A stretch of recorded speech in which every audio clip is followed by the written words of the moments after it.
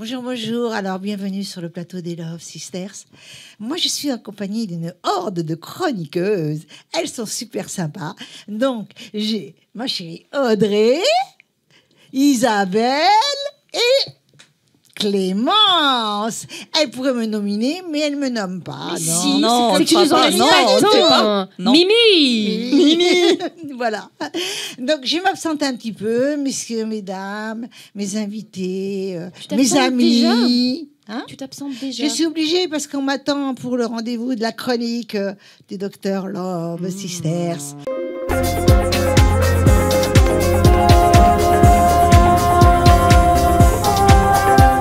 Bonjour, bonjour, nous voilà pour une nouvelle rubrique, toujours avec le docteur Love Sisters. Bonjour Myriam, bonjour, Bonjour. à tous. Un Donc, plaisir- euh, grand plaisir de vous retrouver. Ben, nous aussi, hein, mais maintenant, on est de la famille. Hein. Ah ben, c'est une Donc, grande famille, comme je sister, disais, hein, comme je disais. Et donc, j'ai eu une question d'un homme. Ça c'est bien ça, c'est étonnante, c'est très rare. Et c'est vrai que nous sommes tous faits et faits de chair et de sang. Et que ben, nous avons quelques organes qui fonctionnent plus ou moins mal. Et lui a des problèmes de constipation. Et il, a, il doit avoir une, alimentation spéciale, me dit-il. Et ça s'appelle des diverticules. Voilà, des diverticules. Donc, ça c'est une pathologie qui est assez courante, que rencontrent euh, pas mal de gens dans, notre, dans nos patientèles. En fait déjà il faut définir ce que c'est qu'un diverticule. Des diverticules sont des poches qui se forment à l'intérieur de l'intestin. Euh, un petit peu le contraire, si tu veux, d'un polype qui va être une excroissance, qui va être comme, une formation verruqueuse dans la lumière de l'intestin. On va avoir une formation en creux, une formation qui va se remplir de matière, dans laquelle les matières vont fermenter. Et euh, donc, on va avoir, pendant la période où les poches se remplissent, une période de constipation. Et ensuite, quand il va y avoir fermentation, il va y avoir des douleurs abdominales d'une part, et suivi d'un épisode de diarrhée. Donc en fait, ce sont des fausses diarrhées qui sont dues à ces, à ces fermentations à l'intérieur de, de, de ces réceptacles. C'est important, la première chose qui est importante pour éviter les crises, c'est d'éviter la constipation. Donc la première chose qu'il va falloir avoir, c'est une alimentation euh, à la fois riche en fibres, euh, riche en fruits et légumes, mais pas n'importe lesquels, on va y revenir. Une alimentation riche en eau, euh, avec une bonne hydratation, parce qu'il ne faut pas oublier que le premier laxatif, le laxatif Pour naturel, laver c'est l'eau. hein, tout simplement. Avant de prendre euh, des laxatifs qui peuvent vous bousiller les intestins, pensez à boire, tout simplement, c'est une bonne chose.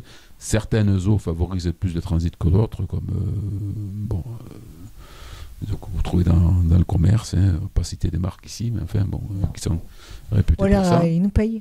Ou alors nous payent, oui, ça serait une bonne chose pour Love Sister. Effectivement. Donc, en fait, il va devoir avoir une alimentation euh, un petit peu spéciale, ce monsieur, parce qu'il va falloir absolument qu'il évite tout ce qui est fruits et légumes à petites graines et à petits pépins. Hein.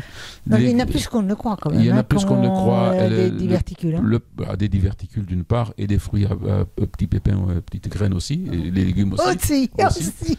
Parce que et le rôle, l'inconvénient qu'on va avoir avec ces graines, c'est que ces graines vont rentrer à l'intérieur des poches, dans le transit, et les poches donc, euh, qui vont recevoir euh, ces graines vont s'enflammer. Donc on trouve, ben, on peut donner quelques exemples rapidement, euh, dans notre alimentation quotidienne, euh, les tomates. Donc effectivement, toutes les graines y a dans les tomates, vous conseiller d'émonder les tomates, de les débarrasser de leurs graines pour éviter ces problèmes. Des fruits comme le raisin, par exemple, qui, lequel euh, le- avaler les pépins, bon, pour quelqu'un qui n'a pas de problème de diverticule, ce n'est rien. Pour quelqu'un qui a des problèmes de diverticule, ça peut entraîner des crises assez, assez sévères. Euh, des fruits comme le kiwi, par exemple, qui vont être mieux tous, ces, là, tous on- ces fruits à petits.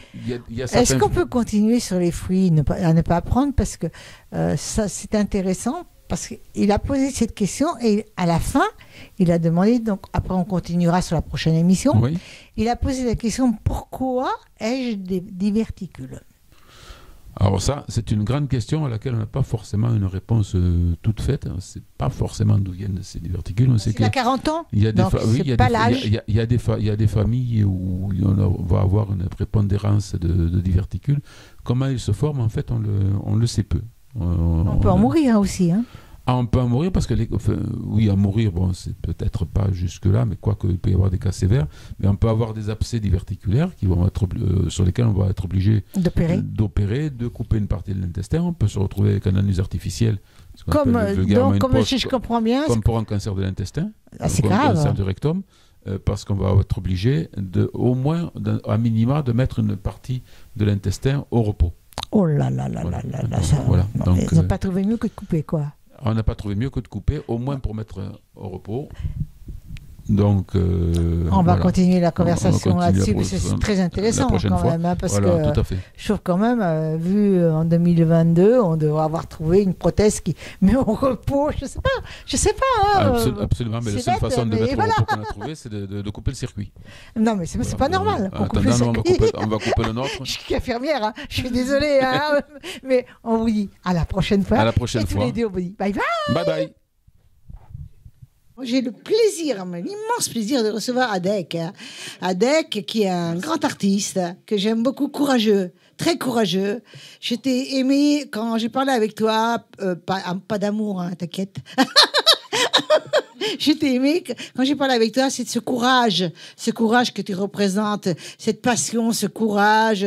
Tu ne craches pas sur les, tu ne, Ouais, ça la touche, on peut le Eh, tu ne craches pas sur les heures en plus de travail. Ah bah c'est ce qui fait des métiers passion. hein.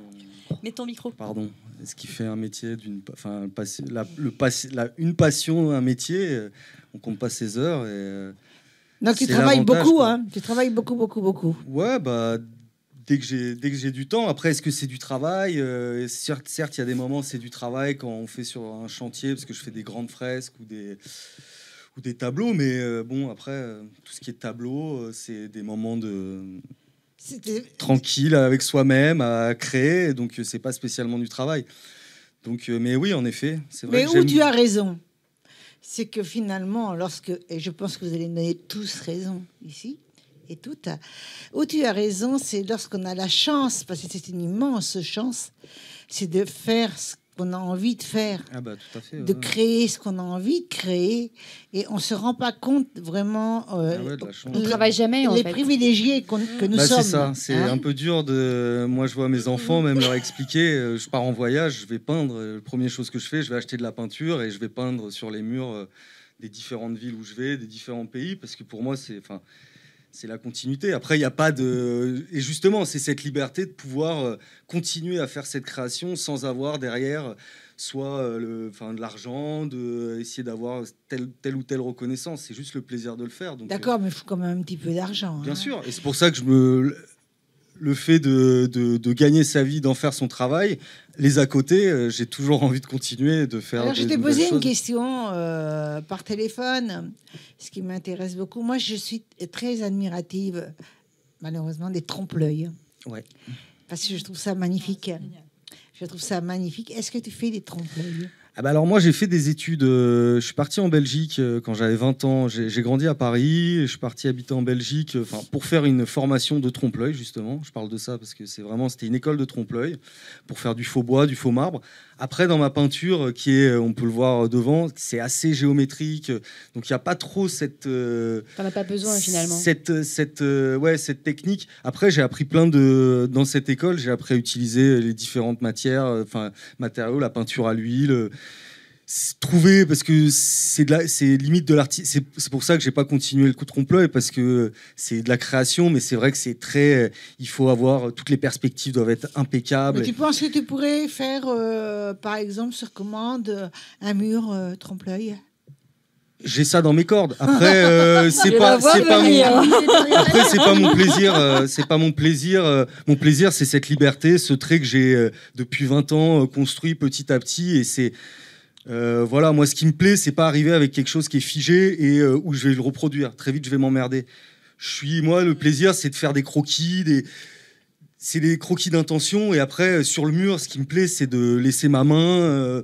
et donc, j'ai de temps en temps, je suis agréablement surpris. De temps en temps, je fais des erreurs, mais les erreurs, ça fait partie aussi. Une erreur, une tâche, une coulure. Je trouve que c'est une gymnastique de- d'essayer de rebondir. Je parle de ça au niveau du street art L'erreur de, l'erreur de n'est cette. pas grave, c'est on rebond- c'est on rebondit. hein, Et de au toute contraire, façon. l'erreur, Ça elle amène autre euh, chose, elle amène voilà, autre chose, voilà. et je trouve ça hyper, euh, hyper euh, triste de d'être d'arriver sur le mur ou sur la toile à avoir son idée. Déjà, je trouve ça triste et dur.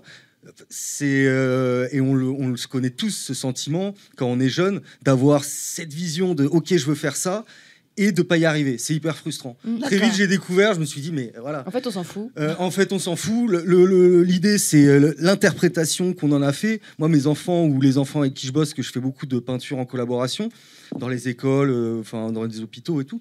Et euh, très- je sais pas faire. Mais non, arrête cette truc de tu sais pas faire. Tu sais interpréter. C'est sûr que si je veux un lion, je peux prendre une photo, avoir un lion parfaitement fait. Bah, je prends une photo. Maintenant, on peut projeter, prendre le temps de. Non, donne-moi, fais-moi ton lion et je trouve ça beaucoup plus intéressant une interprétation d'un lion qui va partir en bleu, qui va avoir des feuilles. Que, euh, et c'est là tout l'intérêt de la création où euh, la liberté est, est là, quoi. on est libre. Bah, envie, j'avais envie de le faire bleu, je l'ai fait bleu, et c'est comme ça. Et, euh, Et pourquoi pas et pourquoi pas, Et pourquoi exactement. Et c'est là où moi, les enfants, je leur rabâche, arrêtez de vous sentir. Parce que c'est marrant, tu bosses avec des CP, ils ont cette liberté, tu bosses avec les CM2. Non, non, je se sais pas faire. pression, Mais si, euh, tu sais le faire. euh, tu... Si je comprends Formatage. bien, tu, ouais, ouais. tu es prof, tu, euh, Je suis pas prof, moi, mais je fais des fresques. J'ai une peinture qui est assez ouverte. Comme je disais, j'arrive, je sais pas trop ce que je fais. Je sais dans les grandes lignes, mais je me nourris de tous ces trucs. Donc, euh, je suis hyper friand de toutes ces peintures collaboratives Oui, où ils viennent, ils interviennent, ils me donnent des, des idées, Voilà, où je fais des petits ça. personnages. euh, Parce que je fais beaucoup euh, des, des animaux, la nature habitée. Donc, c'est des grands animaux avec des petits personnages, les petits humains. Donc, euh, donc soit je leur demande de, me donner des pistes, euh, des petites scénettes que les humains pourraient euh, faire sur les animaux, soit carrément ils interviennent. Parce qu'encore une fois, jamais on peut faire d'erreur. Déjà, s'il y a une vraie erreur, on peut venir la repasser. Et, euh, et souvent, des erreurs amènent des super surprises et des super ah bah tiens, on va rebondir, comment faire et, c'est là la, chouette gymnastique de la création où on s'enferme pas dans des trucs où on va directement. Je vais faire ça et je reproduis. Et donc, ça t'arrive d'avoir des demandes euh, dans, euh, spéciales euh, extérieures euh, pour Des faire commandes. des, des- oui, des commandes pour les, les Des commandes les de murs. immeubles, de Ouais, murs, voilà. Voilà, de- ouais. de- là, tu mets, tu mets un temps infini quand même hein, pour Non. faire le mur, non? Non, non, non. Bah après, c'est toujours pareil. Faut voir. Après, j'ai une façon de travailler. Je vais pas. Enfin, je, je vais pas. Je vais pas dessiner en fait. euh, faire un, un premier dessin et venir faire du remplissage. C'est que des coups de rouleau. Donc euh, ça se construit assez vite. Ou c'est à la perche. Je travaille à la perche selon les trucs, à la nacelle. Très franchement, euh, je mets pas plus d'une semaine. Et même, j'ai une façon où ça me. D'une semaine après, je me dis mais pourquoi je suis parti là-dessus? J'aurais dû faire un autre truc. Et, Ouais, Je et, crois pas, faut que tu, euh, je crois je pas suis que tu dans cette chercher- énergie. euh, Tu dois pas chercher pourquoi tu es parti, tu es... parce que tu as démarré. tu as démarré alors. Vas-y. Donc en fait, quand on te fait des commandes, tu es libre. T'as pas de sujet. Euh, ça dépend. Ouais, Ouais, non, moi je suis hyper. Ah, si, si, il peut y avoir des, dans les commandes des thèmes, des couleurs, des, des discussions. Enfin, voilà, c'est. euh, Tout est possible. Après, en fait, limite, même, je- j'ose dire que c'est même plus compliqué. Souvent, on te laisse carte blanche et limite, c'est là où tu te retrouves à te dire merde. Bah alors, attendez, mais vous voulez quoi vraiment? Non, non, mais euh, vas-y, peignez là-dessus. Lâchez-vous. Lâchez-vous. Et donc, c'est à la fois un honneur et super cool. Et... Mais c'est vrai que dans le cerveau, il y a ce petit truc de. Ah, Est-ce que ça On va plaire? Ils- Ouais, voilà, au moins un truc. Donc c'est- ça dépend. Les commandes, il y a des fois, euh, des fois c'est hyper simple. Ça part, euh, hop, j'y vais, j'ai l'envie. Des fois, euh, ça ça marche pas et c'est compliqué de forcer le truc. Et, et surtout, en fait, même de se dire de présenter quelque chose que oh, les gens vont se sentir obligés ou que ça soit un mur ou une toile ou euh, c'est hyper gênant. Moi, je suis pas très à hein. l'aise. euh, ouais, voilà, c'est ça. Voilà, voilà, c'est ça. C'est hyper dur d'être euh, très sûr de soi quand on présente quelque chose. même si on a quelqu'un qui nous a donné leur confiance, quoi. C'est Mais un mur, un mur est, est- a beaucoup plus, on a beaucoup plus de travail que toi. Tu as beaucoup plus de travail sur un mur, puis tu es obligé de tout préparer pour pas que ça déborde, pour pas que ça aille par oh non non non. Ça veut rien dire. En fait, je Ah pense non, que c'est une question de détail. sais Non, non, je peux pas rien. Non, non, non, non. Et limite, c'est ça. Souvent, euh, je peux faire des, des, des, des murs euh, là à Nîmes. euh, Enfin, j'ai fait pas, pas mal de murales parce qu'il y a l'expo de ouf euh, qui, qui, qui organise ça dans les, dans les rues de, de Nîmes. Et euh, en une après-midi, je peux faire des grandes. Alors qu'à la- l'atelier, justement, à l'atelier, on se recule, on se pose. On n'est pas dans ce. C'est comme en voyage. En voyage, on arrive. euh, Moi, j'arrive, je me pose pas, quoi. Il y a une euh, dynamique Il y a une dynamique, il y a des gens qui sont derrière. euh, Très vite, tu vas pas te poser avec les gens, à regarder. Non, non, j'ai vite envie d'avancer. Et le mur de Pérol, tu as pensé? Euh, ouais, bah, je suis programmé pour dans les prochains. ouais, ouais. Ah, c'est. Line Up, une asso qui a repris le- la, la programmation. Ah bah super. Et donc, ouais, ouais, ça sera, je devrais le faire. Ah, c'est bah, un mur assez spécial, mais Ouais, euh, qui est- est assez long, qui Ouais. se voit de la rue. Il est très en longueur et il se voit Exactement, qui se voit de. Donc, euh, faut trouver la bonne idée. C'est ça aussi qui me plaît, moi, dans les, dans les murs, c'est qu'on n'est pas sur un- une surface euh, lisse et blanche. Mm. On est, il faut s'adapter, euh, que ça soit une cuve. J'ai peint sur des cuves.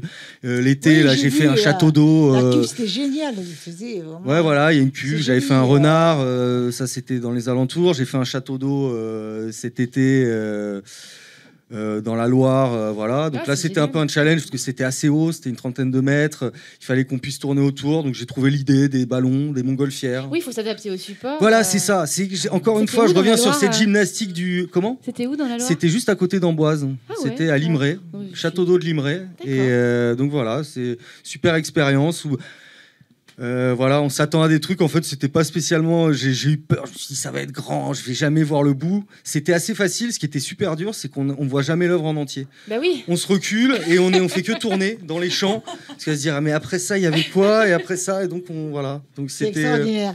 Et donc, tu, euh, tu as une page. euh, Tu as, tu Ouais, j'ai une page Instagram que j'essaye de. C'est, voilà, c'est pas mon. J'ai longtemps boudé les réseaux euh, à me dire ah non, j'ai, pas Et envie. malheureusement, aujourd'hui, Voilà, pas ça. Donc je le fais. Je me force de plus en plus à essayer de faire des petites euh, parutions, des petites euh, quand je fais des murs, même des petites stories. Des... Après, j'ai pas, un j'ai un téléphone de chantier qui est très pratique. Là, il y a encore deux jours, il est tombé de la nacelle de- d'une dizaine de mètres. Il y avait de l'herbe en bas. J'ai plus entendu de musique. On s'est dit, mais c'est bizarre, il y a plus de musique. Pourquoi ça bug? Où est le téléphone? On l'a retrouvé en dessous de la nacelle.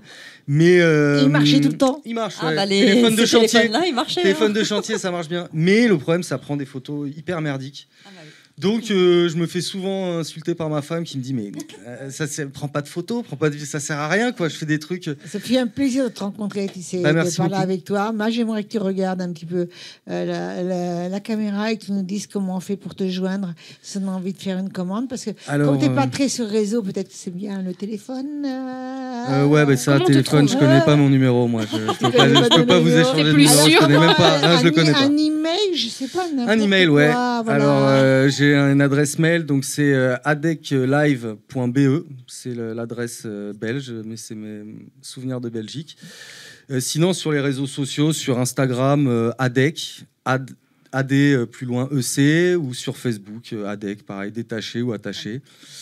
Là, vous pouvez Et voir voilà. cet homme talentueux. Vous avez vu bah, quelques c'est photos. On va aller découvrir vu- ça, hein, ça donne Voilà. envie. C'est- c'est- Ouais, c'est ce fut vraiment un plaisir. et Bah, merci beaucoup pour l'accueil. Donc, euh, je sais que tu es attendu sur le chantier, puis c'était habillé pour. Ouais, hein. voilà, ouais, Et, ça continue. euh, là, tu es venu carrément du chantier. Ouais, bah après, c'est le problème quand on travaille tout le temps, c'est dès qu'on met un nouveau pantalon, on a vite le. Moi, je me suis, et s'est sûr, on dit, bon, bah, je me suis posé donc les la pantalons question, neufs, c'est pour des Je occasions me suis spéciales. posé la question si tu l'avais pas décoré exprès. Toi Mais non, on me demande souvent. Dans le train, C'est- euh, on m'a déjà demandé, ouais. Mais où est-ce que vous avez c'est trouvé ça hein. Ah Non, mais c'est euh, voilà. Non, non, c'est un Levis, euh, c'est un Levis normal. Ah, Voilà, tu peux lancer une nouvelle mode, tu vois, et Ouais, bah, des ouais, vêtements. ouais. L'Instagram. Il y en a Ouais, beaucoup, il y en a ouais. beaucoup qui lancent. Donc, ça fait un plaisir de te recevoir. Et ben merci beaucoup Je te à tout le monde. bon courage. Merci à vous. Et donne-nous tes nouvelles quand même. Et ben avec grand plaisir. Et ce sera un grand plaisir de te recevoir à nouveau. Merci. Et si tu peux nous peindre en direct après un, un tableau, Ah ouais, il y a toujours mal. moyen ça. J'aimerais bien. Tu Ouais, ça, la ça peut se faire. Ça, ça, ça peut se Si faire. tu dis oui, je te prends avant Je suis limite mois. même plus à l'aise de, de- d'être six retourné, de peindre que de un- parler. direct, tu vois, Et ben pourquoi en pas. live. Ah. Pourquoi Hein pas, Ah, avec plaisir. bien. Moi, Voilà. je voudrais bien une petite collaboration avec Bulle de Crin, hein, éventuellement. Mm. Et ben avec plaisir. Je sais pas. On prend euh, les coordonnées. Ah bah ouais, avec Allez, grand plaisir. tu n'oublies pas de donner tes coordonnées à l'en- à l'entrée. Parce Pas de que problème. nous, les filles, on, les- on prend tes coordonnées. Malheureusement, tu seras bourré de filles. Non, moi je demande en ami sur ta faute. Facebook, c'est plus rapide. Et ben c'est super. Non, mais il va pas sur le réseau, lui. si si, j'y suis, j'y suis, j'y suis contraint et forcé, mais non mais c'est très chouette, mais voilà. Allez ben merci beaucoup. Merci. Au revoir. Allez, au revoir. bye. Alors, après le départ euh, de ce charmant Adek, euh, maintenant c'est au tour euh, d'Audrey qui nous reçoit un charmant couple. Ici, tu vas me dire un petit peu, tes invités, euh, qu'est-ce qu'ils font? Et oui. Eh bien, euh, donc euh, c'est le duo Archange, Bonjour. donc avec Angélique et Jean-Sébastien. Euh, et ben, vous allez surtout nous expliquer euh, qu'est-ce que vous faites, puisque je crois que vous êtes chanteur et musicien.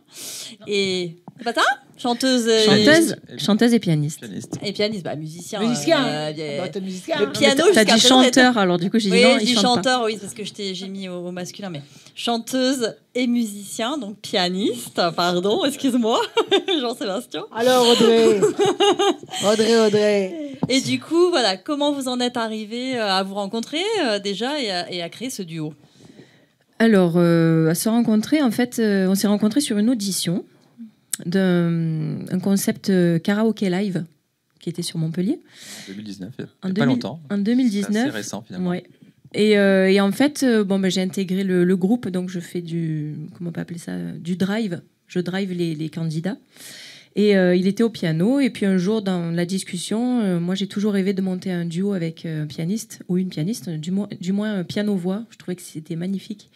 Et moi, je lui ai dit pas cap. Allez. Et ouais, Parce qu'il et faut pas dire. Et, ouais, elle est bélier, donc elle a foncé. Ah ben voilà.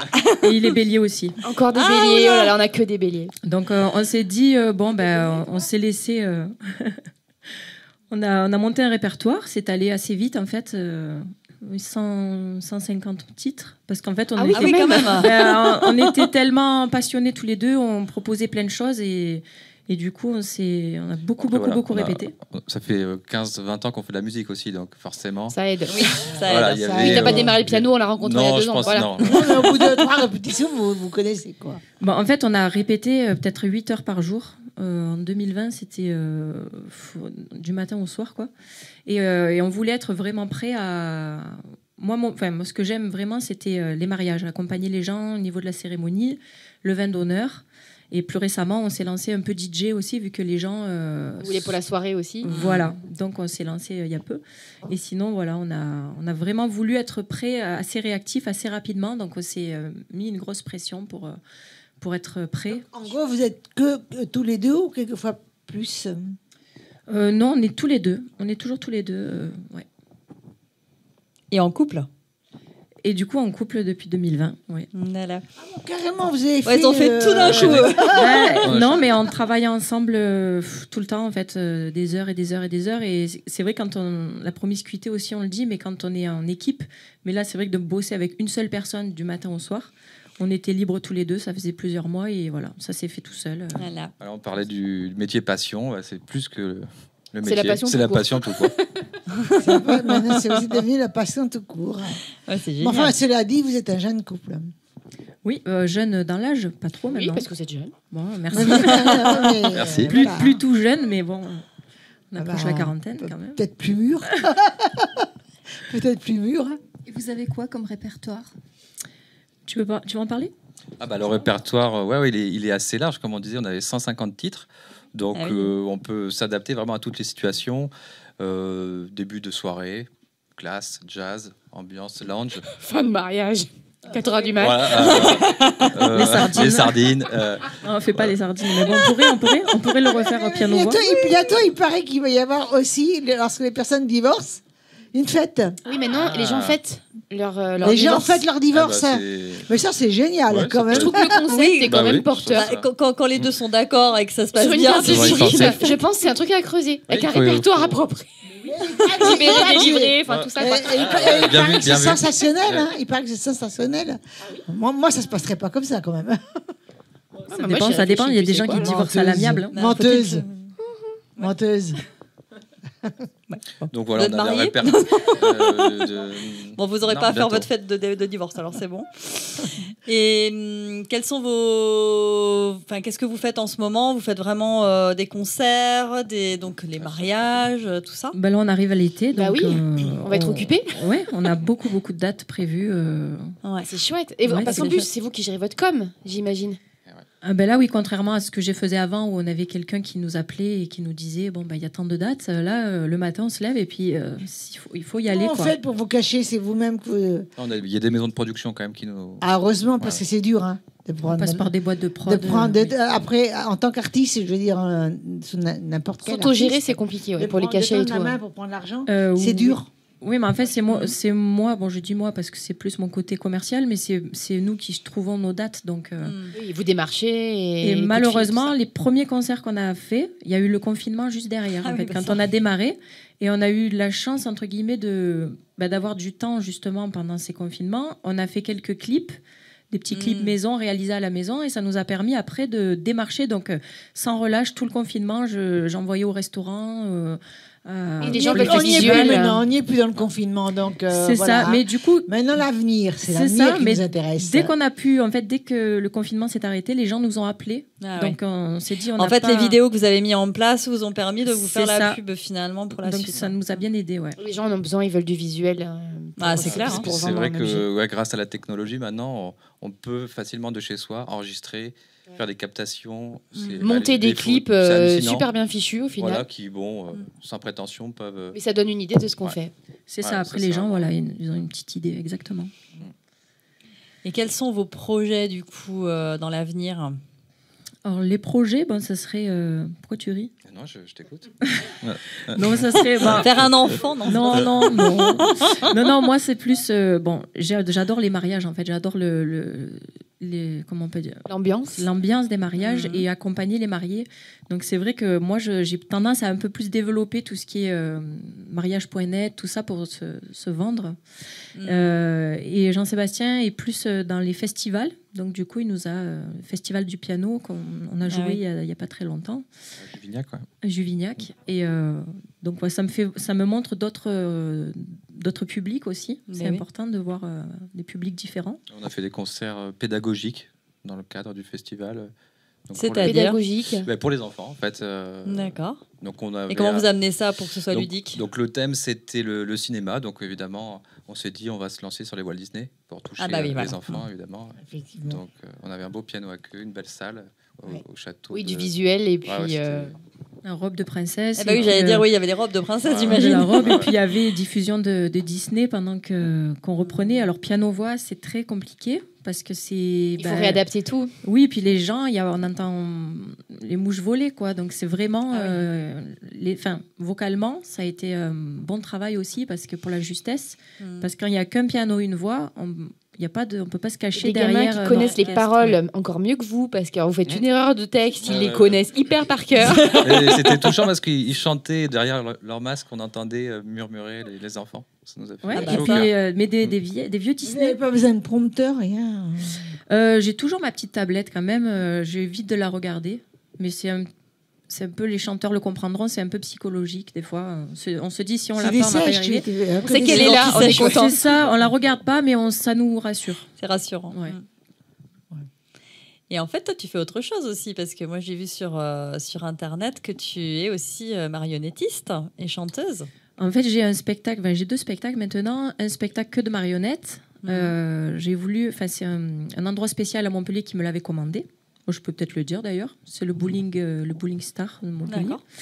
Et euh, il m'a commandé un spectacle en me disant qu'il lui fallait un spectacle tout public. Et ça tombait bien parce que je je, je sais pas en fait faire quelque chose qui n'est que pour les enfants. J'ai toujours un petit second degré, quelque chose qui euh, voilà pour les adultes. Et du coup ça, ça a bien marché, sauf qu'il y a eu bah, beaucoup beaucoup d'annulations malheureusement. Donc euh, sur euh, 16 ou 18 spectacles, il y en a eu 6 de réalisés. Comme tout le monde, hein, voilà. Ah ouais, on va parler d'autre chose.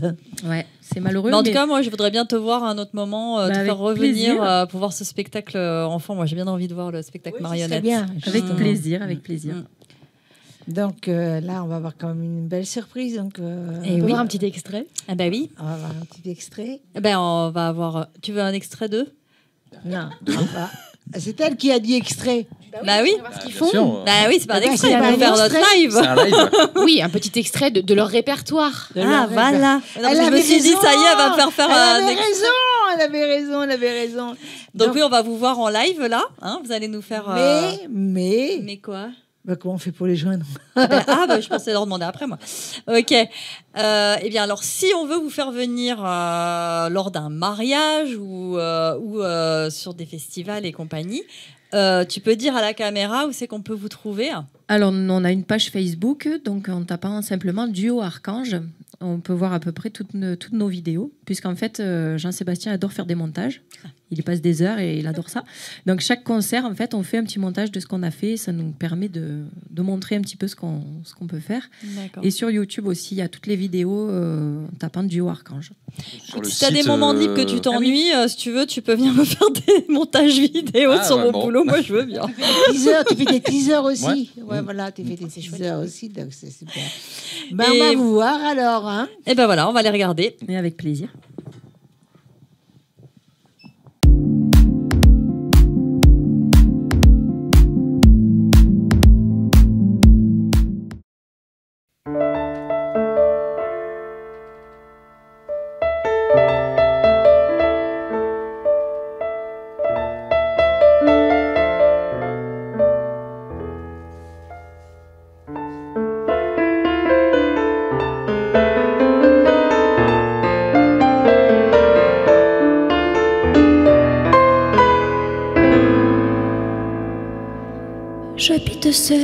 Avec maman dans un très vieil appartement rue Sarrazate. J'ai pour me tenir compagnie une tortue de Canaries et une chatte. Pour laisser maman reposer, très souvent je fais le marché et la cuisine. Je range, je lave et j'essuie. À l'occasion, je pique aussi à la machine. Le travail ne me fait pas peur. Je suis un peu décorateur, un peu styliste. Mais mon vrai métier, c'est la nuit que je l'exerce travesti. Je suis artiste. J'ai un numéro très spécial qui finit en nu intégral. Après striptease. Et dans la salle, je vois que les mâles n'en croient pas leurs yeux.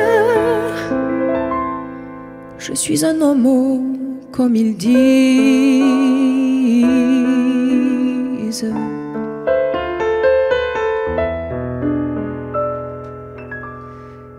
Vers les 3 heures du matin, on sort manger entre copains de tous les sexes.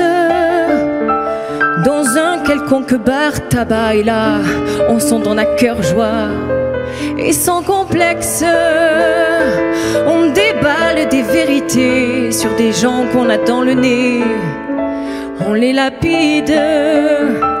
Mais on le fait avec humour, enrobé dans des calembours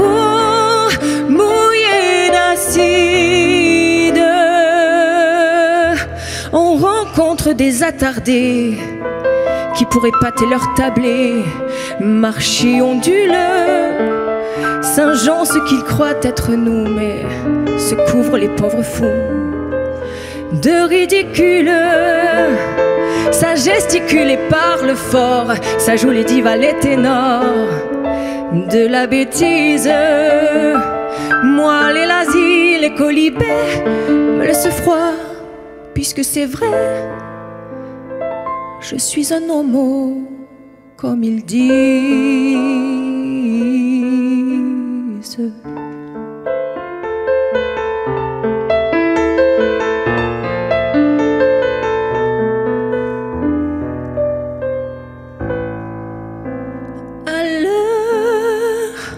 Un jour nouveau. Retrouver mon lot de solitude. J'ôte mes cils et mes cheveux comme un pauvre clown malheureux. De lassitude, je me couche, mais je ne dors pas. Je pense à mes amours sans joie si dérisoire à ce garçon beau comme un dieu qui sans rien faire a mis le feu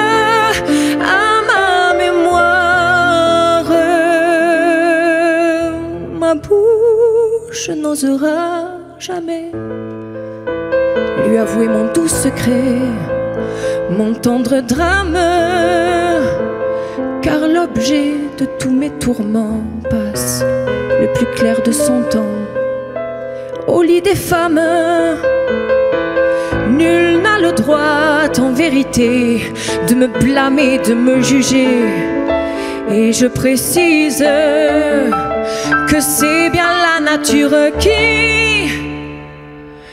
est seule responsable si je suis un homo, comme ils disent.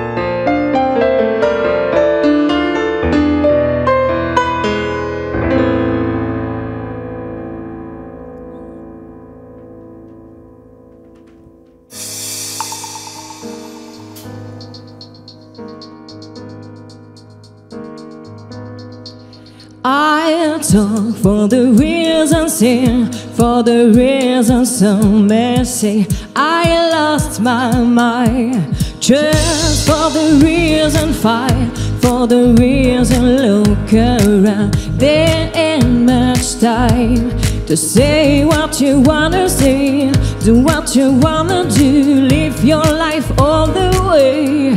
Hey. Oh my God, got to turn the day, but we could judge and play the game. No way, open up your eyes and see the lawless to be me. Oh my God, got to turn the day, but we could judge and play the game. No way, open up your eyes and see the lawless to be me. No one looks so afraid. Stop looking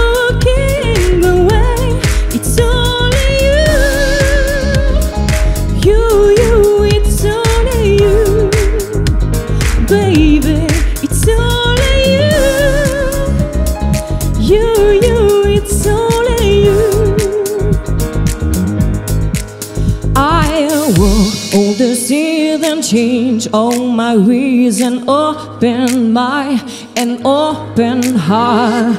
Try with envision they by my intuition never fail me never hurt. Just fear I just wanna feel the deep and the real die to spin that wheel.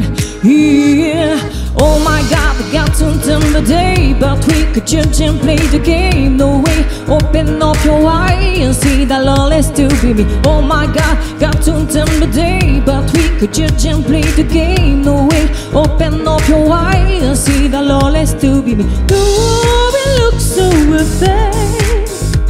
Stop looking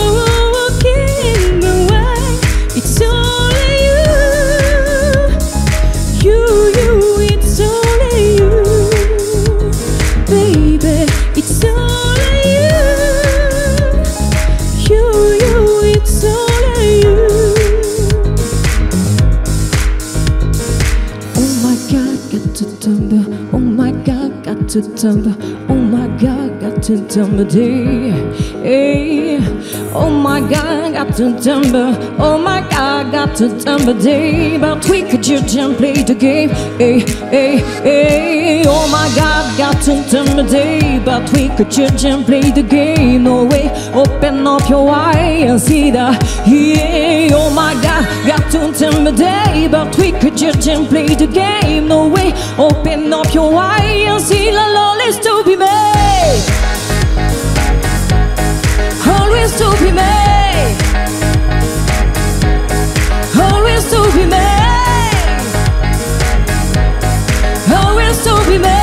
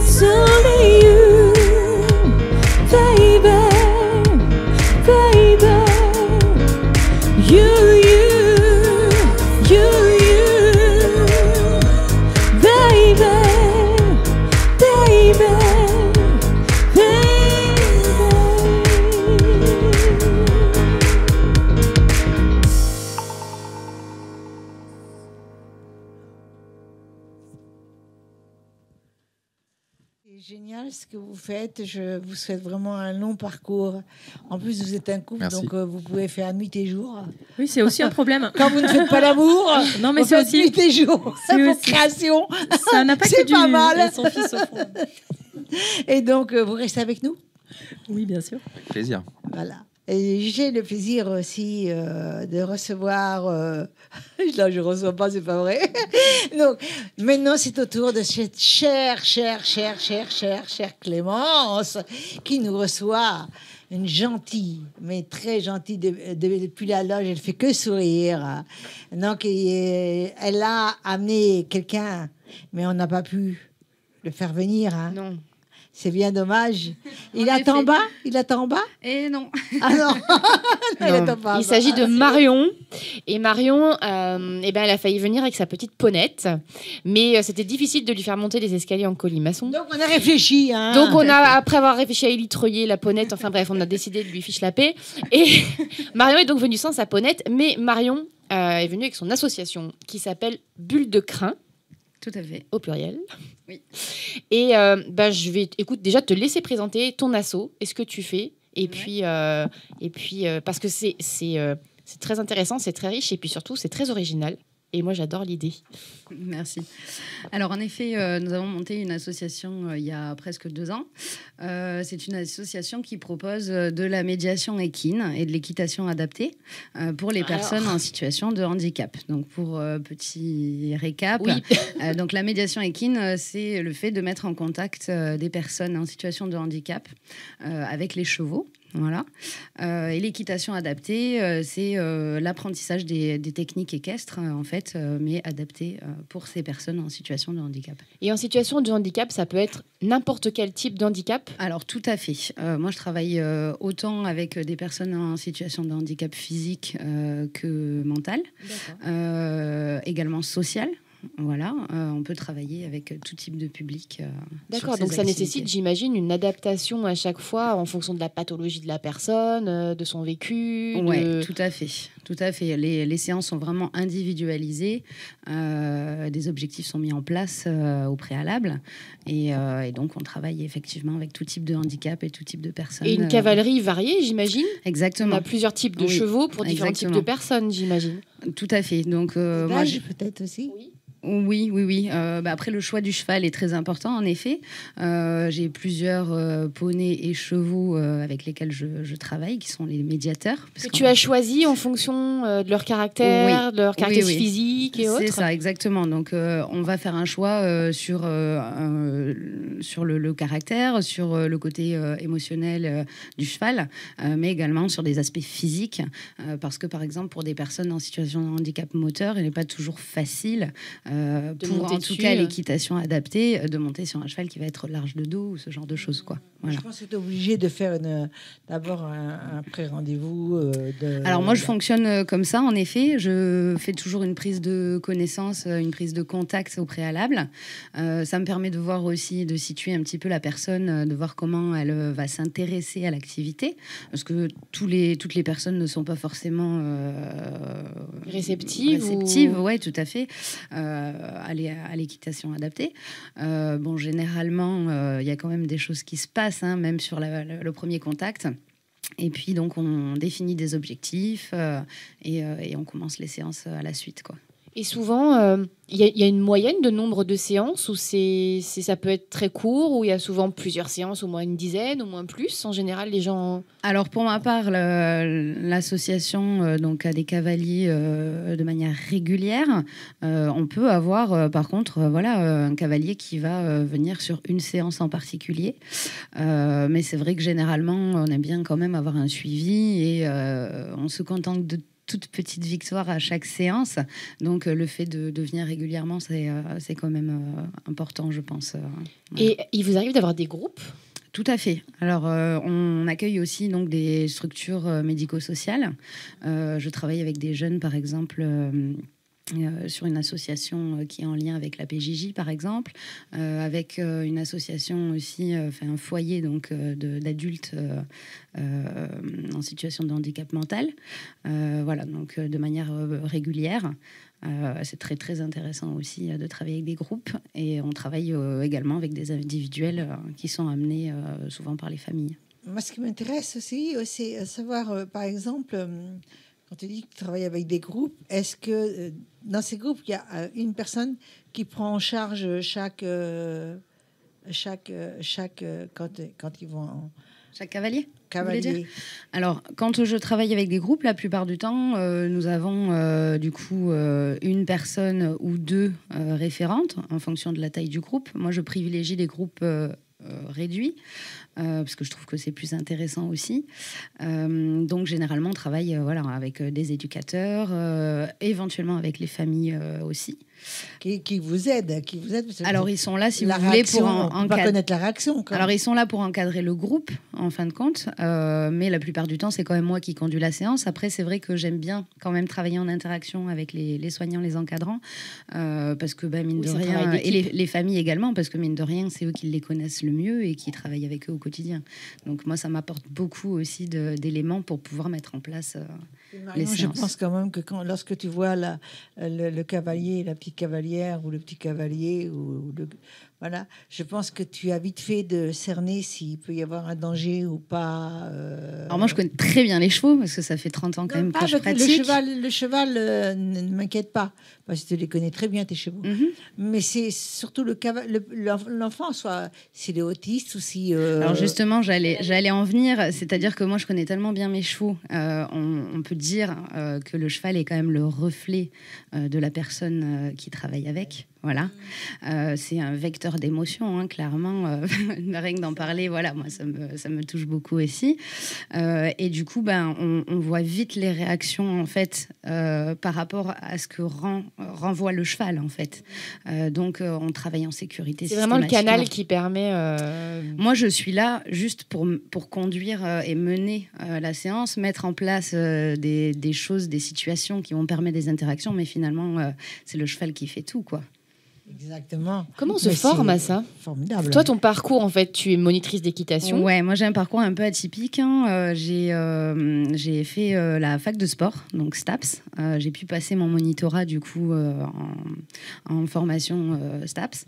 Euh, et puis bah, je suis partie deux ans dans la communication, donc euh, rien à voir avec euh, le cheval. Euh, J'étais quand même très sensibilisée au handicap euh, déjà, et, euh, et du coup j'ai fait le rapprochement. T'étais dans des l'échange deux, en déjà, fait. et- Voilà, j'ai fait le rapprochement des deux, et ensuite euh, j'ai suivi euh, donc euh, deux formations qui m'ont donné accès au brevet fédéral euh, Equihandi, euh, moteur et mental. Donc c'est une formation proposée par la Fédération française d'équitation qui me permet d'être aujourd'hui diplômée. Parce qu'ils te donnent des subventions ou pas?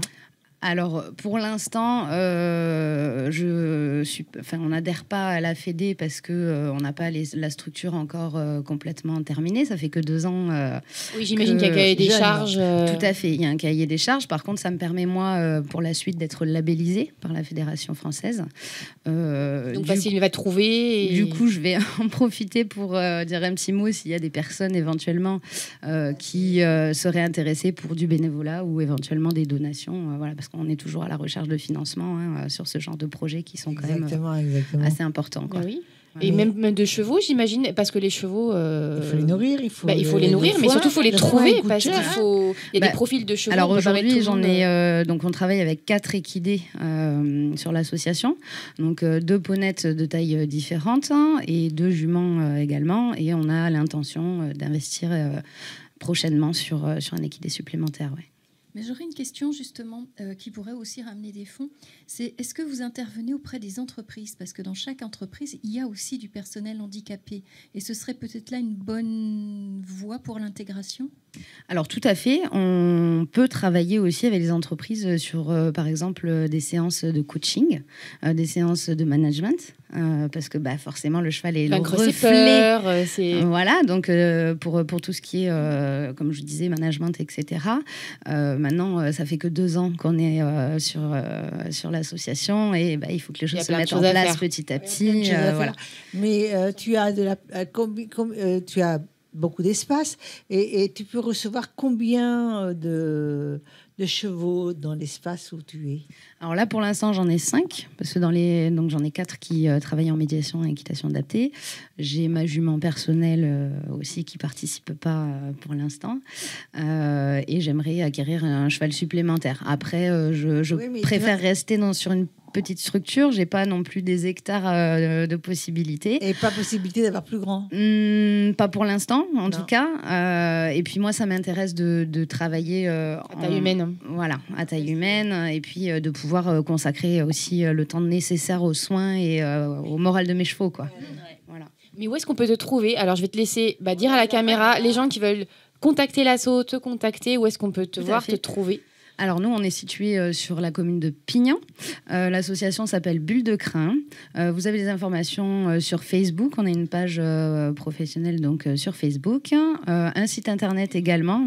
D'ailleurs, j'appelle aussi les communicants qui souhaiteraient travailler sur le projet pour nous aider à continuer de mettre à jour notre site. Donc www.bulledecrin.com Euh, et vous avez toutes nos coordonnées téléphoniques, euh, mail, etc. sur la page Facebook. euh, En tout cas, euh, vraiment merci pour ce- Et- cette belle découverte. merci à vous. Merci beaucoup et on espère Moi, j'ai été vraiment te revoir, par ça. te revoir Avec plaisir. parce que t'es es quand même assez nouvelle. Donc, euh, Oui, ça fait deux ans. Oui, deux ans. C'est nouveau, deux ans. Et donc, d'ici un an, je pense qu'on peut te revoir et tu auras fait du chemin. Parce que c'est très intéressant. Et... On a beaucoup de projets euh, qu'on a, qu'on a mis en place, beaucoup de projets que j'aimerais aussi euh, continuer de faire évoluer, notamment, et ça, ça me tient à cœur vraiment, travailler en inclusion. Je travaille également avec un, poney club qui est tout récent, qui a ouvert cette année sur Villeneuve-les-Maguelones, qui s'appelle le Poney Club du Et euh, cette structure me permet euh, de pouvoir euh, amener euh, des personnes en situation de handicap à partager euh, des séances et des cours avec des personnes euh, qui ne sont pas en situation de handicap et du coup euh, de travailler sur, sur l'inclusion, euh, pouvoir euh, un petit peu élever les mentalités aussi, euh, faire connaître le handicap. C'est génial. C'est jamais mal. Et ça, ça me tient à cœur. Voilà. Voilà, mais c'est c'est génial et vraiment, on, on peut que la Ah, moi, complimenter je salue. et dire Bravo. bravo. Je vous remercie. Bravo, Oui, bravo Merci. vraiment, c'est génial. Merci beaucoup. Tu restes avec Merci nous à vous, bien sûr. Bon, maintenant, nous allons avoir un autre invité, n'est-ce pas, ma chérie? Et oui, on va avoir Alix Di Jusco. J'ai bien prononcé Oui, c'est bon, c'est ça. Voilà. Alors, euh, je vais te laisser te présenter. Donc, tu es auteur et pas écrivain. Tu peux nous dire aussi un peu la différence pour... euh, Auteur et pas écrivain. Ah ouais. Euh, je préfère l'appellation d'auteur parce que j'écris pas que, euh, je suis pas romancier, j'écris pas que des romans. J'expérimente euh, toute forme, euh, toute forme littéraire. Donc euh, voilà, moi je m'appelle Alix Jusco, j'ai 21 ans. Euh, j'ai été licencié à la Sorbonne à Paris et maintenant je suis aux Beaux-Arts de Nîmes en deuxième année. Et euh, juillet euh, 2021, j'ai sorti mon premier roman qui est ici, donc euh, Le Rouge, aux éditions Nombre 7. que tu as commencé à écrire à 17 ans d'ailleurs. Il est Oui. devant. Oui, oui, oui. J'ai commencé à l'écrire en juillet 2018, donc euh, à 17 ans, et je l'ai publié trois ans plus tard, euh, donc en juillet 2021. Et de quoi parle ce roman? Euh, alors en fait, ce roman, ça retrace euh, les tranches de vie d'une- d'un groupe d'adolescents euh, dans, euh, dans la ville de Nîmes qui préparent leurs vacances. Et euh, ils viennent tous d'avoir leur baccalauréat, ils sont super contents, ils préparent leurs vacances, ils prévoient ce qu'ils vont faire. Et en fait, il y a un, un d'entre eux qui, qui décède dans un accident de voiture. D'accord.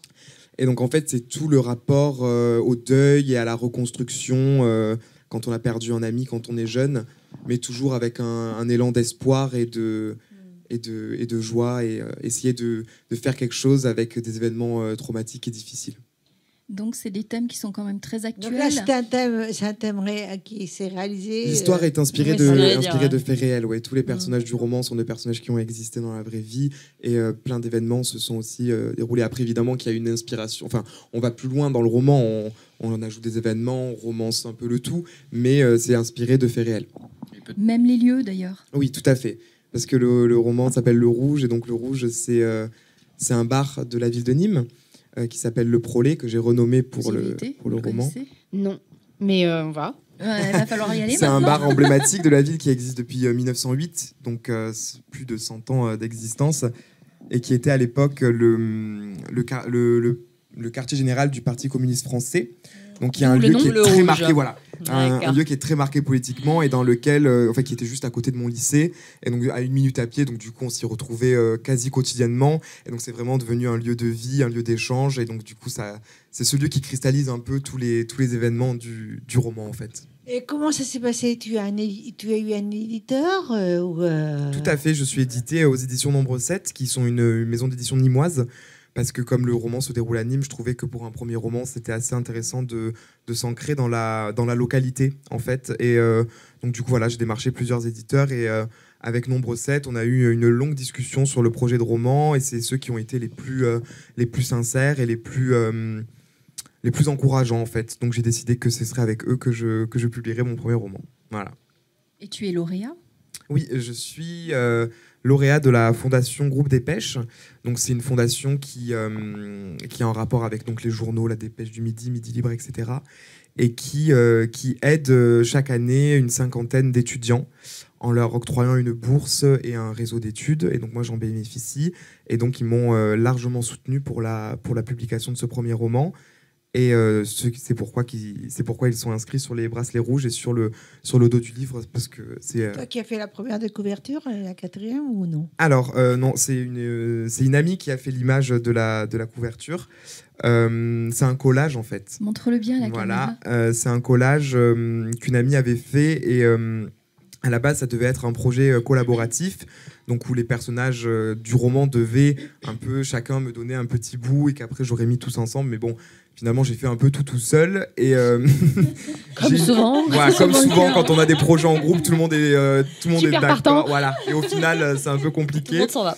voilà, mais euh, elle a décidé de me, de me donner entre guillemets ce, ce visuel qu'elle a fait. Et donc, du coup, voilà, par rapport au deuil, à la reconstruction, l'église dans la Oui, tête. c'est je très parlant. je, c'était- voilà. je vais te poser une question Ouais. aussi, euh, rapidement, et pour laisser pas prendre la place. Elle va me disputer Aucun sinon. euh, souci. euh, euh, tu peux pas euh, nous lire la préface ou le prologue Bien sûr, bien sûr. La préface, pas la quatrième de couverture, la préface. La préface, c'est-à-dire À l'intérieur, il y a une préface. Mais il avait prévu, il avait prévu un petit extrait à vous lire. Ah, d'accord. Excuse-moi, excuse-moi. Moi, on me l'a pas dit. Hein. Tu es cachetière. C'était une même, surprise. hein. Ah, Je voulais que je vous lise maintenant Bah, Ok. vas-y. Alors, euh, donc, du coup, euh, je vais vous lire un extrait d'un portrait d'un personnage qui se retrouve dans un café. Et donc, euh, comme le roman parle beaucoup des questionnements euh, d'adolescence, ça introduit un peu, euh, un peu ce thème-là. Alors, ça va être un peu compliqué. de- Tu veux qu'on te tienne le livre peut-être? Ouais, Alors. que là, il, il est neuf C'est pas grave. pour le tourner, On s'adapte. C'est vrai que c'est pas évident quand c'est. Merci beaucoup. Alors, Prune était assise sur une chaise au milieu d'un tas d'autres, entre les tables d'un café un peu trop grand pour sa solitude. Elle regardait les gens passer, estimait leur potentiel. Que faisaient-ils dans la vie? Ils marchaient vite. Pourquoi les gens marchent-ils toujours vite dans les débuts des romans? C'est comme une malédiction. La marche rapide romanesque, une condition sine qua non. Regardez ce pauvre Grégor Samsa qui, eut l'audace de s'endormir quelques instants avant le début de son aventure. Au réveil, il était devenu une vermine. Fallait donc marcher et vite. Pourtant, Prune était assise et pas vraiment sur le point de partir. De toute façon, elle n'avait absolument pas envie d'être l'héroïne du roman. Pas du tout. Déjà, le sport, c'était pas son truc, alors marcher vite dès le début, non merci. Et ensuite, elle se sentait un peu comme celle qui vivait au travers des autres, plutôt que comme celle qui vivait sa propre histoire. Elle avait besoin de se retrouver dans des bars comme ça, de temps en temps, seule, et de se confronter aux autres qui marchaient sans la regarder. Elle aurait aimé se jeter dans des bras, se mouvoir et s'enfoncer dans chaque homme qu'elle croisait, juste pour se sentir exister. Prune était une adolescente de 18 ans avec tout le packaging classique de la gosse d'une- classe moyenne haute. Famille, amis, notes correctes, un peu d'argent. En bref, tout ce qu'il lui fallait, elle n'était pas triste. Ou alors c'est plutôt qu'elle n'avait pas le droit d'être triste. C'était carrément ça en fait. Elle n'avait pas le droit. Interdit, banni, le onzième commandement, tu ne pleureras point. Une sorte d'injonction que tout le monde lui disait à chaque fois qu'elle se sentait un peu démunie. C'était les mêmes mots à chaque fois. Tu n'imagines pas la chance que tu as, Prune. Tu as tout ce qu'il te faut pour être heureuse. La belle affaire. C'est bien beau d'avoir tout ce qu'il faut pour être heureux, mais ne pas être capable d'en faire quelque chose. Elle s'imaginait alors dans les cuisines d'un grand restaurant, le genre de lieu où une crevette peut hypothéquer ta maison. Elle serait là, en tenue de commis, coiffée de ce chapeau ridicule qu'elle classait au sommet du palmarès des couvre-chefs les plus immondes, à égalité avec le bonnet de bain. Et le chef du restaurant lui ordonnerait de cuisiner un millefeuille. Tu as tout ce qu'il te faut. Très bien, mais sans la recette, elle ne pouvait pas inventer la pâtisserie, même avec tous les ingrédients du monde. C'était un peu pareil avec le bonheur. Prune esquissa un sourire lorsqu'elle se rendit compte qu'elle était en train de comparer la recette de l'euphorie avec celle d'une pâtisserie.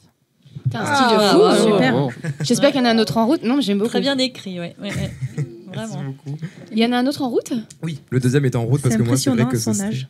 Ouais, Ouais. c'est exactement ce que je me disais, 21 T'as un- t'as un ans. style. Il a commencé à 17 ans quand même. hein. Ah ouais. C'est quand même à écrire et Et d'autant plus que ce livre est très riche, c'est-à-dire que c'est pas un livre classique comme on pourrait le lire, comme on a l'habitude de les lire. C'est-à-dire que dedans, on va trouver, eh bien, tu le diras mieux que moi, qu'est-ce qu'on trouve dans ce livre? Oui, euh, j'ai, comme je l'ai dit, voilà, moi je suis, euh, je suis auteur avant d'être romancier parce que j'ai, euh, à côté des romans, j'écris des poèmes, j'écris des pièces de théâtre, etc.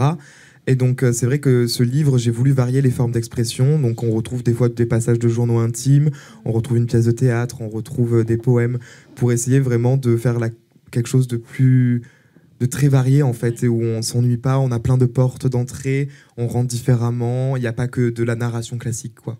Donc c'est vrai que Oui, c'est ça, voilà. Alors, moi, j'avais une petite question. Alors, Ouais. évidemment, pour arriver à écrire un livre à 21 ans, euh, j'imagine que il a dû se passer beaucoup de choses avant, Ouais. de, de la lecture, des essais, sans doute quand tu étais plus jeune. Qu'est-ce que tu pourrais dire aux jeunes aujourd'hui euh, qui me semblent un peu parfois écervelés à cause de la technologie? Peut-être passer un message, leur dire que peut-être laisser les tablettes de côté, les téléphones et euh, vous lancer et lire, parce que Alors, vous avez un euh, petit message à passer euh, aux Alors jeunes. c'est vrai que moi je suis pas un énorme lecteur. J'aime bien lire. Il y a quelques livres, euh, voilà. Alors, non, mais, Ah, non, bon, mais- je non, mais je préfère, je préfère être honnête. c'est pas que- un geek non plus. non, pas forcément, mais c'est vrai que moi après j'ai toujours écrit depuis que je suis tout petit. euh, ça a toujours été voilà ma passion. Donc euh, je me suis, moi je, si j'avais un conseil à donner, c'est écrivez. Même si c'est pas pour publier, on s'en fiche. Écrire dans des carnets, écrire ce qu'on pense, même si c'est du journal intime et qu'on a l'impression que c'est ridicule, bah déjà ça aide beaucoup. euh, de sortir les choses euh, de la tête et puis on se rend compte que plus on écrit euh, plus on aime écrire et plus on se je trouve que c'est vraiment euh, même thérapeutique et même Et puis ça Ouais. coûte pas cher. Et puis pour ça beaucoup, coûte pas ouais. cher. Moi, je sais que toujours dans mon sac, j'ai un carnet, un stylo et des fois j'ai des pensées, hop, j'écris. Et puis après, quand je, ré- quand je vais écrire du roman ou écrire de- des bouts de narration, des nouvelles ou quoi, Tu t'en je, resserres. Je feuillette un peu et je vois des phrases, je vois des mots, je vois des trucs. Et quand on a la page blanche, on revient sur ces, sur ces, sur ces carnets-là et du coup, ça nous aide à, à, à amorcer quelque chose. Quoi. Donc si j'avais un conseil, ce serait écrivez. exactement. Donc tu es encore, euh, tu, tu- tu as un support euh, papier, je veux dire, t'es pas avec l'ordinateur. Euh, ça dépend. Le, le roman, je l'ai écrit sur l'ordinateur Ouais. parce que c'est vrai que Mais il y a c'est. des euh, mots importants qu'il doit garder en tête et donc il, il note le mot ou il l'enregistre. Mais le truc, voilà, c'est que l'ordinateur, moi, j'ai pas toujours sur moi. Ouais, ouais, Donc il y a les notes du téléphone, bien sûr, mais après, j'aime bien aussi le contact du papier. Donc euh, j'ai toujours un carnet sur moi, j'ai une machine à écrire à la maison. Ouais. Et ça t'arrive des fois d'être en soirée ou avec des amis où tu fais quelque chose, enfin, rien à voir, et d'un coup, Ouais. Voilà, Ouais, tu vois ce que je veux dire. Mais du Et coup, euh, dans ces moments-là, euh, j'essaye de pas faire euh, le mec en mode écrivain torturé qui sort son carnet, donc je le mets sur le téléphone et après je le réécris sur un carnet. Ouais. C'est mieux pour toi. Donc ouais. euh, là, on va te demander Tes coordonnées. le secret de tes coordonnées. Alors, euh, mon Twitter et mon Instagram, c'est Alix Di Jusco, tout La attaché. caméra, s'il te plaît. En, euh, en minuscule, donc Alix Di Jusco, tout attaché. Et euh, mon adresse mail, c'est alix.dijusco.gmail.com. Voilà. Et où est-ce qu'on peut trouver ton livre? Alors, on peut retrouver le livre sur toutes les plateformes euh, Fnac, euh, Cultura, Amazon, etc. Aussi en librairie, ils sont disponibles à la commande. Et dans les librairies nîmoises, ils le sont directement. Donc, par exemple, à la librairie Diderot, euh, rue Émile Jamet, ou à la librairie Tessier, rue Régal. Voilà. Alors, je tenais quand même, avant tout, à te féliciter pour ton Mais merci look. euh, beaucoup. Tes Ah, chaussettes son blanches et le collier, et le, co- et le collier de perles. Et qui encore, va- c'est soft aujourd'hui. hein, Ah ouais? euh, ouais, ouais. C'est vrai que t'as the look. hein. Ah, mais fallait pas te gêner, hein. Ah non, ah non, Ah, surtout pas ici, Pas hein. ici, hein, surtout. Alors la prochaine fois, hein, ton prochain livre, La prochaine fois, je suis en robe, c'est bon. Tu mets la Ah, écoute, totale. hein. euh, tu mets la totale. hein. Ah, tu fais des robes des fois? Ouais. D'accord, ok. Mais nous, on aime on a bien. hâte. Nous, on aime bien. On reçoit. On reçoit. Super. Ah non, voilà, on reçoit, nous. On aime Bah, bien. Déjà hâte. Non, mais Merci pour Voilà. ta venue. Merci à vous de m'avoir accueilli. On va laisser d'ailleurs un message personnel euh, euh, avec mes invités. Nous recherchons encore à nouveau des performeurs, des la Gay Prade euh, et tout, etc. Parce que je les trouve tellement marrants et je trouve qu'on fait des super spectacles. Donc, avis à la Gay Prade.